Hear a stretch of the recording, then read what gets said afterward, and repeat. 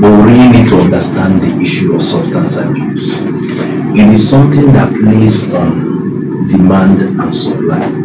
Like we said initially, we are just barely a transit nation, but we are not consuming it.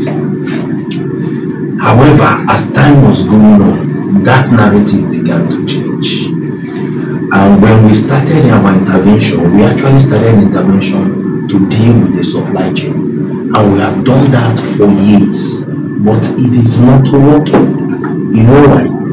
Because the, if you don't balance the intervention, which is basically threefold drug demand supply reduction, drug demand, uh, drug supply reduction, drug uh, demand reduction, then in some clients you call harm reduction if you don't balance this and you focus on drug supply you will create the mexican scenario the latin american scenario and that is where we are driving towards. And you cannot be driving towards that at the time that countries are beginning to opt out of the convention. Of all these conventions the grundnorm which is the 1961 convention actually made provision for legal regulation by countries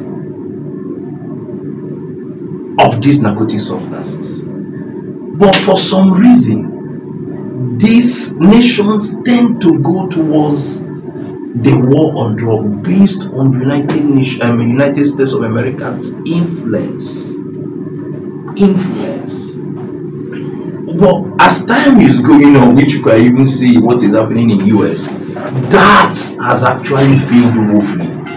That has actually failed woefully. So drug supply reduction is needed, but it is meant to be intelligent based. In short, talking about drug supply reduction, the Convention on uh, Illicit Trafficking, the 1988 Convention, targeted the motive behind trafficking, which is confiscation of the profits not death sentence making sure that you deny the people the reason for why they got into the business that's the money The the, properties the proceeds. So it is more of an intelligent led drug supply intervention. But we have a problem. We have a problem because most of the time you don't get to the real people that make the profits. You don't get to the barons.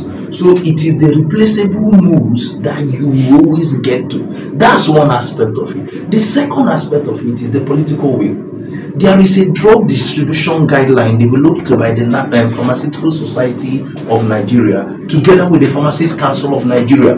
For years for years we have been asking the government why can't we put into action this drug um, supply guideline? The national drug supply guideline. It is in the country. The document has been there lying down.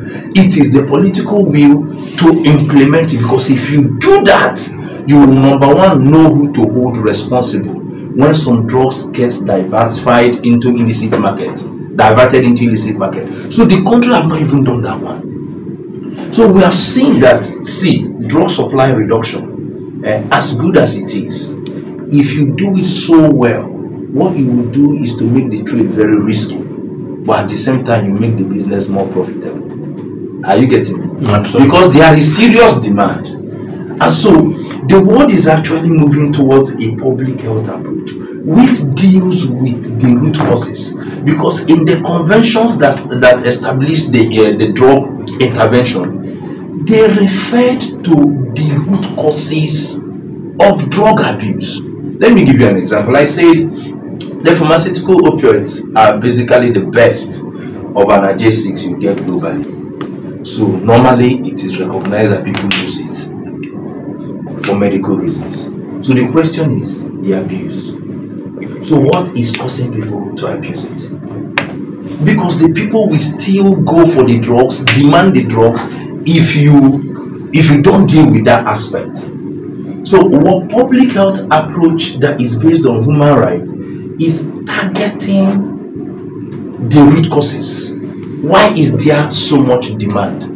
When you do a drug supply reduction approach only, which is majorly what Nigeria has done for a very long time, you make the business more lucrative because there is serious demand for these substances. People are demanding for these substances. People are using these substances. And you are you are you are reducing the supply. So the the traffickers are making far much more money. It becomes a far more lucrative business. So if we really look at the the the the 2018 national drug use survey again an analysis that was done you you will be shocked All right. first okay you want to ask a question Complete.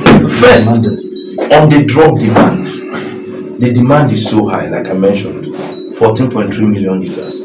But not just that, one of the major revelations of that survey is the drug use among ages 50 to 64. That's amazing. Ages 50 to 64. Are you saying that all of them are criminals? there is a high use of cannabis among that age. There is a high use of pharmaceutical opioids among those people. There is a high use of cough syrup containing codeine among this age group. So the question is, what is causing it? Now, another interesting revelation about that survey is that three quarter of the respondents in that survey were rural based.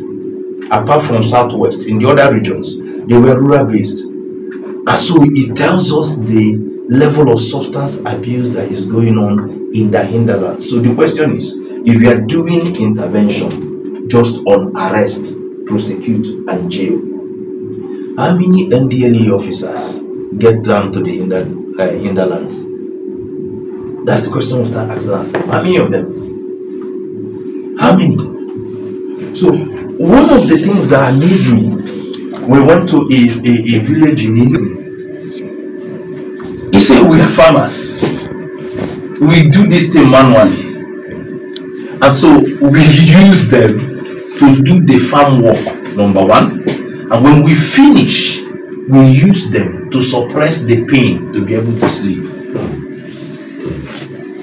So when you look at this, in short, there was a young man that So they have a totally different motive. Yes, they complete totally different motive. And you know, the narrative of crime and drugs is something I've always had problem with. Yes, there are criminals that use drug, but it is not drugs that makes them criminals. Yes. Now, this I started off in this field working. I actually worked a lot with NDLEA. At the point in time, I was doing pro bono counseling for their people. That's people that are in their centers. They kept up this narrative that drug is driving crime, drug is driving crime. In the course of it, I met a young man by the name of Adeolu Adeyebi, the founder of Youth Rise Nigeria, who also powering this event. And he began to give me a total different narrative about drug use. And so to have a, my own view, we, we, we did a research. We went to the prison, the maximum prison, and requested for 80 inmates, convicted inmates, who have about three months to the end of their sentence. And we decided to.